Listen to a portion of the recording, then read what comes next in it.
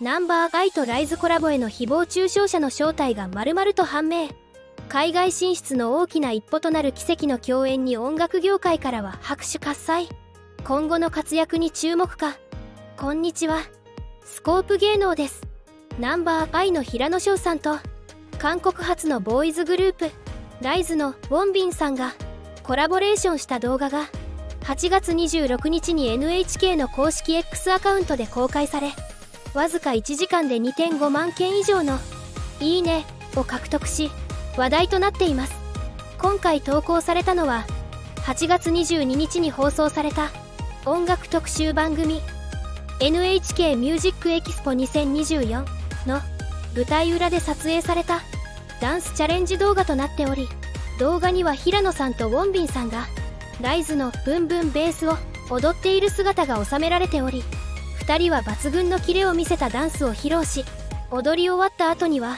リスペクトを込めて拍手を送り合い平野さんはピースポーズウォンビンさんはサムズアップで締めました。この奇跡的なコラボレーションにファンからは歓喜の声が続出。2人ともめっちゃかっこいい。国境を越えたイケメン2人。目の保養などのコメントが集まりました。また同日にはナンバーアイの神宮寺勇太さんと多国籍グループ NCT から誕生したグループ。ウェイブイのテンさんのコラボレーション動画も公開され神動画来た。これは貴重などとファンから多くの反響の声が投稿されています。今回の動画にはナンバーアイの稲妻を踊る神宮寺さんと天さんが映し出されており2人はキレの良いダンスを披露し最中には笑顔でアイコンタクトを取ったり熱いハグを交わすなどと意外な相性をファンに見せました。ナンバーアイとライズ。ウ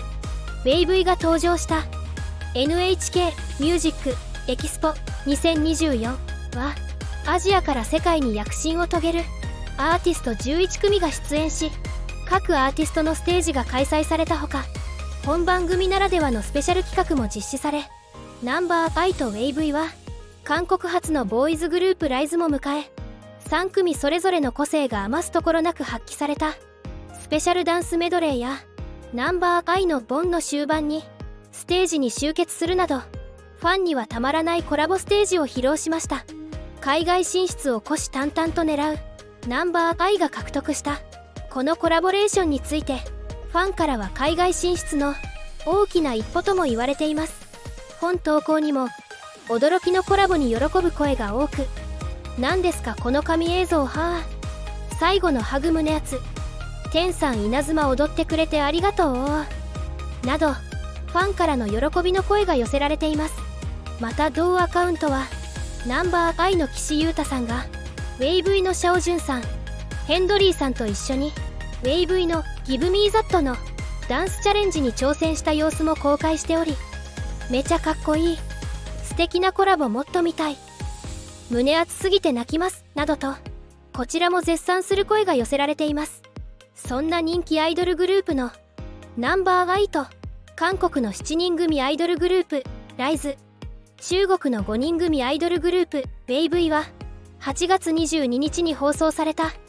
NHK ミュージックエキスポ2024で共演しアジアの人気3グループによるダンスコラボは大きな話題となりました。しかしその一方でこの番組のナンバーアイとライズのメンバーによるスペシャルトークコーナーがあり両グループのメンバー同士で仲睦まじく交流するシーンが放送されたのですが隣に並んだナンバーアイとライズのメンバーの集合シーンが切り取られた上でヌンベリとライズのこれやばいだろヌンベリ公開処刑すぎるとその身長差を比較し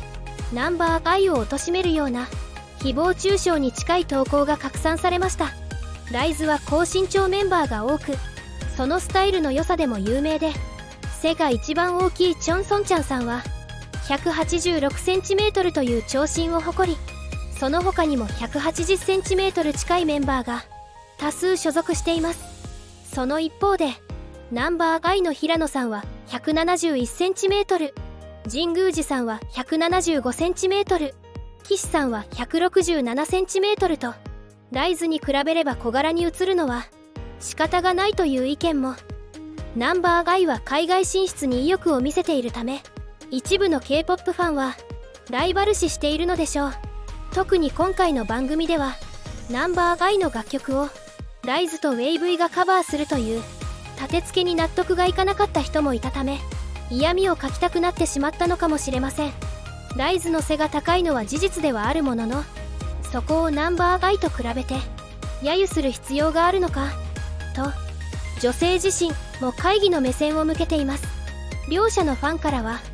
比較いじりに対しての怒りの声や擁護する声も多く上がっておりライズは韓国の歌番組でもでかいから関係ない。ライズとナンバーアイ比べてスタイルどうこう言ってるオタク。スタイルが良いのは素晴らしいけど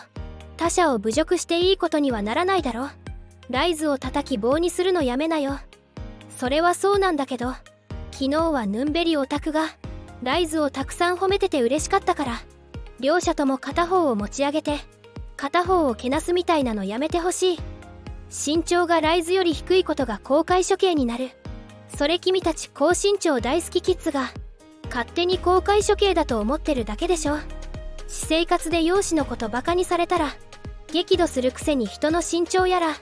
顔やらにはうるさいのねなどというコメントが見受けられています。この話題に上がったグループたちはお互いにリスペクトがあった上で愛ある交流を深めていることは明白です。ナンバー愛の活動の方向性には未だ賛否が分かれていますが許容されるのはあくまで好きか嫌いかのみではないでしょうか。風貌やパフォーマンスを他者と比較し貶めるような行為や別称を用いて非難の声を突きつける行為に正当性があるとは決して言えないでしょう。推しが応援しているアーティストをまた推しの一人として応援してみるとより一層豊かな推し活として楽しめるのではないでしょうか。皆さんのご意見もお聞かせください。最後までご視聴ありがとうございます。よろしければチャンネル登録と高評価コメントをお願いします。それでは。